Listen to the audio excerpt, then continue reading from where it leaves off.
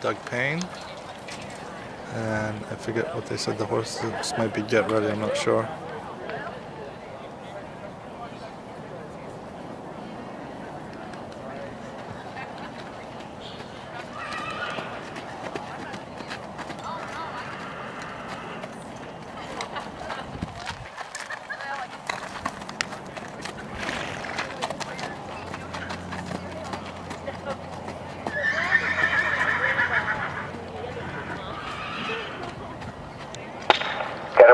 accepted.